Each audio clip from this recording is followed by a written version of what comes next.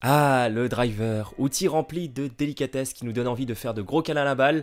Quand on l'a dans les mains, ça y est, on devient de grosses boules remplies de testostérone. Dans cette vidéo, nous allons voir à quel point vous frappez fort. Je vous propose ici un petit tour d'horizon de statistiques au driving. Du LPGA au PGA, en passant par les statistiques amateurs, vous allez découvrir à quel point vous frappez fort comparé aux plus gros frappeurs de la planète. Et je vous propose qu'on y aille tout de suite.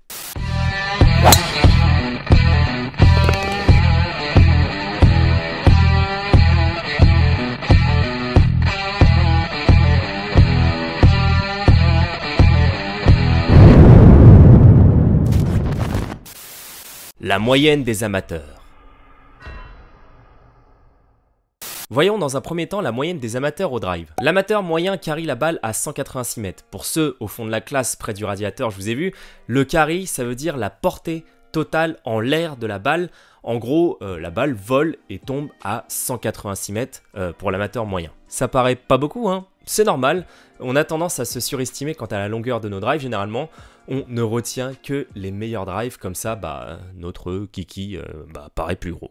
Concernant la vitesse de la tête de club à l'impact, l'amateur moyen est capable en moyenne d'accélérer la tête de club à 94 miles à l'heure et la balle sort en moyenne de la tête de club à 132 miles à l'heure. Alors certes, ces chiffres ne vous disent peut-être pas grand-chose pour le moment si vous n'êtes pas habitué à regarder les données euh, sur radar, mais ça vous pose déjà une base de données à comparer à ce qui va suivre. 186 mètres de carry, 94 miles à l'heure pour la tête de club, 132 miles à l'heure pour la sortie de balle. Voilà les stats moyennes pour un joueur amateur classique. Si vous êtes au-dessus de ces données, bah bravo, vous faites partie de la moyenne haute. Et si vous êtes en dessous, bon bah euh, sachez que je donne des cours de golf. La moyenne du LPGA. Le Ladies Professional Golf Association est l'organisation américaine de golf professionnel féminin. En gros, bah, c'est la première division euh, aux States. Et ce qui va nous intéresser ici, c'est de savoir si les meilleures joueuses du monde envoient des fusées au drive. On est quand même là pour ça à la base. Sur le LPGA, la moyenne au carry s'élève à 200 mètres. Bon, déjà, euh, les meilleures joueuses du monde frappent en moyenne plus fort que l'amateur moyen.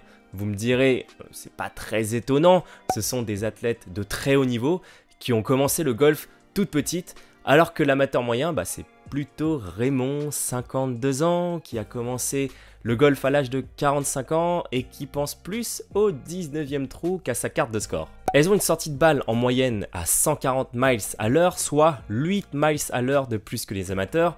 Logique vu que la balle vole plus loin. Par contre, elles ont la même vitesse de club à l'impact que les amateurs, soit 94 miles à l'heure. Hmm, les meilleures joueuses du monde frappent 15 mètres plus loin que l'amateur moyen, mais pourtant elles ont la même vitesse de club.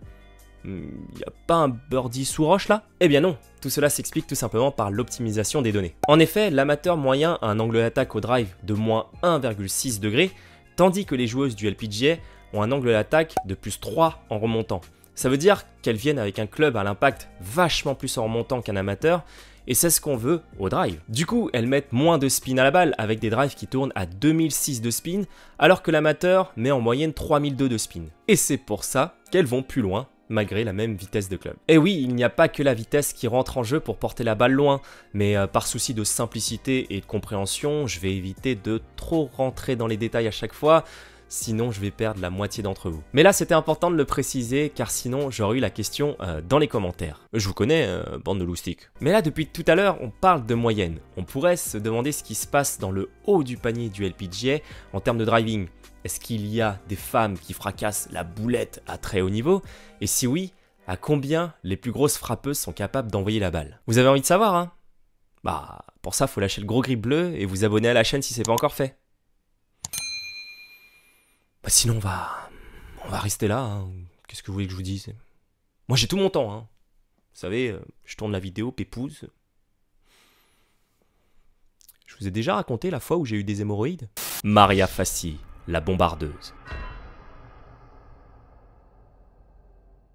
Maria Fassi est une joueuse mexicaine évoluant sur le LPGA. Elle a fait un buzz de malade en 2019 en arrivant sur le tour en tant que rookie car elle a envoyé tout simplement des bombes au drive. Une moyenne au carry à 245 mètres pour des drives total à plus de 260 mètres. Sa vitesse de tête de club au drive avoisine celle de la moyenne du PGA avec une capacité d'accélérer la tête de club à plus de 108 miles à l'heure. Pour vous donner une idée de ce que ça représente, bah, je frappe pareil qu'elle au drive. On a les mêmes stats, sauf qu'on part pas des mêmes boules de départ. Et aussi, on n'a pas le même compte en banque. Et aussi, je suis peut-être un peu moins sexy qu'elle. Bref, une tueuse, je vous laisse admirer ce swing de toute beauté qui me fait chavirer.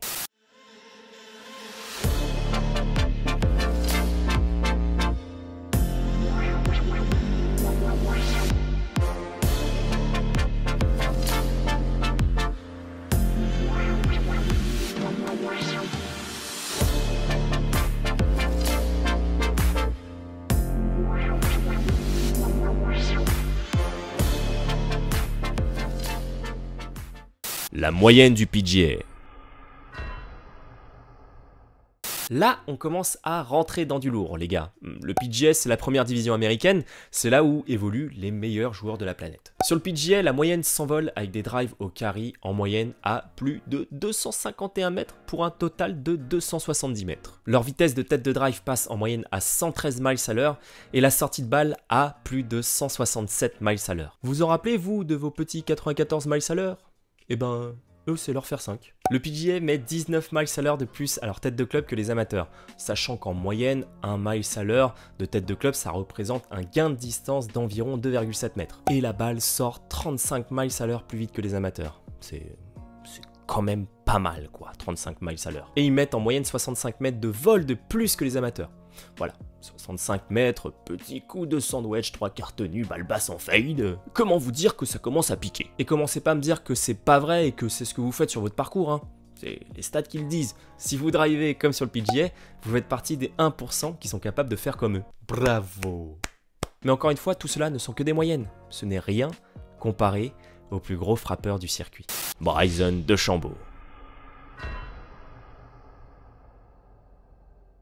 Ah, qui ne connaît pas Bryson de Chambaud Joueur sur le PGA, il a fait un buzz planétaire après être sorti du premier confinement avec 20 kg de plus sur la balance. 1m85 pour 109 kg, une moyenne de drive en 2020 mesurée à 308 mètres total, soit 40 mètres de plus que la moyenne du PGA. Sa tête de club passe en moyenne à 133 miles à l'heure, il met plus de 20 miles sur le champ de joueur. Il porte la balle 105 mètres plus loin que l'amateur moyen pour comparaison. Et le pire c'est que ce n'est que des moyennes, quand Bryson accélère et se met en mode long drive, c'est encore autre chose. À sa vitesse maximale, il est capable de porter la balle à 368 mètres et peut accélérer la tête de club à plus de 146,9 miles à l'heure. C'est tout bonnement euh, monstrueux. En gros, sur mes vlogs, vous me voyez driver environ 250-260 mètres? Bah, quand Bryson, il y va à fond, il me met plus de 100 mètres dans la vue. Voilà, c'est c'est juste hallucinant. Mais il y a pire que ça encore, et nous allons voir maintenant le roi de la fusée, j'ai nommé Kyle Berkshire. Kyle Berkshire. Kyle est un golfeur spécialisé dans la discipline du long drive. Il est champion du monde de la discipline en 2019 et l'un des plus gros frappeurs de l'histoire du golf. Il possède une chaîne YouTube où vous pouvez le voir vlogger sur des parcours de golf. C'est un excellent joueur de golf au-delà d'être le plus gros frappeur de la planète. Il faut différencier deux Kyle. Kyle sur le parcours et Kyle en mode long drive. Sur le parcours, Kyle porte la balle en moyenne à 315 mètres et sa vitesse de tête de club tourne aux alentours de 138 miles à l'heure. Sa vitesse de sortie de balle est d'environ 210 miles à l'heure. Et quand Kyle se met en mode long drive, il est capable de porter la balle en moyenne à plus de 360 mètres avec une moyenne de tête de club avoisinant les 148 miles à l'heure et des sorties de balle à 220 miles à l'heure. Ces moyennes sont tout simplement hallucinantes. Il frappe quasiment deux fois plus loin qu'un amateur moyen, et là où vous devez mettre deux coups de drive, bah lui, il en a besoin que d'un. Sa vitesse de sortie de balle est 90 miles à l'heure supérieure à celui d'un amateur moyen. Il vous met 90 miles, genre une voiture sur une départementale quoi, c'est complètement ouf Lors d'une vidéo en collaboration avec Bryson DeChambeau, on peut voir Kyle accélérer son drive jusqu'à 152 miles. 152 miles à l'heure, je sais pas si vous vous rendez compte, mais pour vous donner euh, une petite idée de quoi ça représente, quand moi je me déchausse sur un vlog et que j'arrive à peine à 280 mètres, euh, je dois tourner aux alentours de 118 miles, 120 miles. Quand je mets toute ma vie, je perds mon dos. Hmm, je me déchausse, euh, je me flingue, mais lui, il me met plus de 30 miles dans la tête. C'est juste énorme. Il détient le record de la balle la plus rapide jamais enregistrée avec une sortie de balle à 228 miles à l'heure lors d'une compétition de long drive. Je, je vous laisse admirer.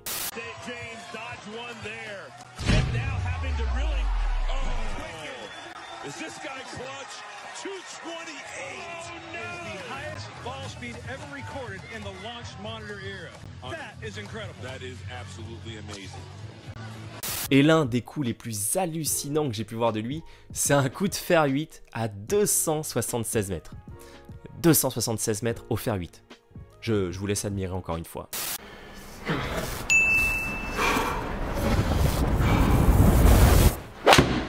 Oh. Yeah, that's 302?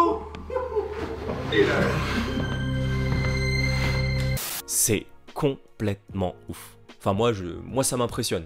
Je sais pas vous, mais moi je, me dis vraiment que c'est une autre planète. Enfin bref, voilà pour ce tour d'horizon du driving. J'espère que la vidéo vous a plu et si c'est le cas, bah, n'oubliez pas de lâcher un gros grip bleu et à vous abonner si c'est pas encore fait. Et moi je vous dis tout simplement à la prochaine. Allez, ciao